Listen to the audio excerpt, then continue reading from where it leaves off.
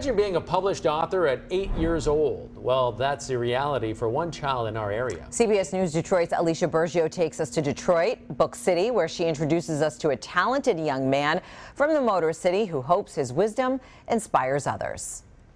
I've been reading since I was two years old. Meet George Latham IV, a writer from Detroit Volleyball players hit the ball back. with a bright future. What do you want to be when you grow up? I want to be the POTUS. When he started his current school now, um, they started calling him Mr. President. He's always had that leadership role to where he just always want to help and he always wants to just make sure that kids were, you know, happy. Latoya Latham, George's mom and momager, as she calls herself, says she asked her son a few years ago how he'd like to earn his own cash. I said I wanted to make a book because I love to read and I love to inspire others um, uh, to read too. At only seven years old, George published his first activity coloring book, I Can Be. His second book, I Can Be Sports Edition, released on his eighth birthday this past February. How does it feel knowing that you've written two books, not one, two books?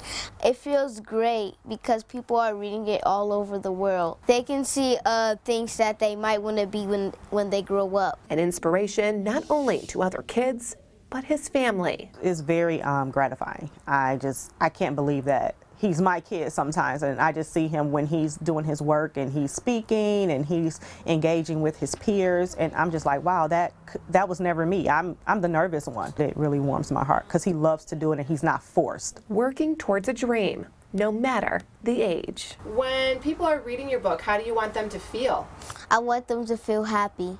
Wow, to be a published author at eight years old, so impressive. George says he plans to write his first chapter book next. That will come out in the next few years. In the meantime, he's hoping anyone who reads his current books feel inspired. In Detroit, Alicia Bergio, CBS News Detroit.